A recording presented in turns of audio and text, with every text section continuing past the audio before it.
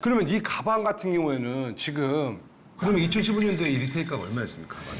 2015년도에 이제 매장가가 6,500 정도 됐고요. 6,500불이요? 6,500이요? 6,500만 원이요? 6,500만 원. 6,500만 원이요? 6,500만 원. 2015년도 지금은 가방 지금은 이제 1억 정도? 와, 이거, 자, 1억 정도? 와, 이거 재테크네? 네. 네. 그럼 저 가방에는 뭘 담아서 댕겨야 돼요? 이 가방에는 1억짜리면은 저 가방을 가방에 담고 다녀야 될 거야. 저 가방을 다른 가방에. 이거는 만약에 진품이면 얼마예요? 어, 법백이 가격대는 좀더 상위에 있습니다. 그러니까 1억 1천만 원 정도? 1억 천, 1억 천이요? 그 이거 관리를 어떻게 해야 돼? 왜 목소리가 떨려요? 명품 VVIP인데 왜 이렇게 놀라는 거야, 명품 보고. 집에 이, 이거를 내가 봤는데 네? 집에 봤는데 제가 막 막 던졌거든요. 아는 분이 있어요, 이게?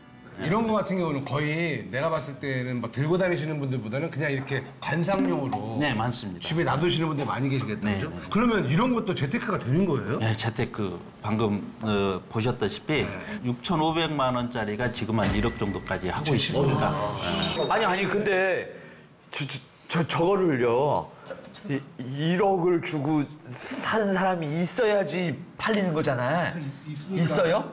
매장에 가시면 예를 들어 매장 가시면 1년 전만 해도 한 5년 정도 waiting을 받아줬었거든요. 5년이요? 5년 waiting을 해야 된다고? 1억짜리 가방이 waiting이 5년이에요? 우와, 말도 안 돼.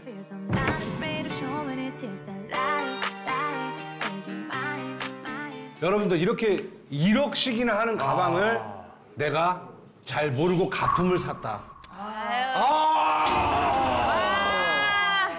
야 어쨌건 이렇게 알면 알수록 진짜 좀 이렇게 가품과 정품이 구별하기가 쉬운 듯 하면서도 어렵잖아요.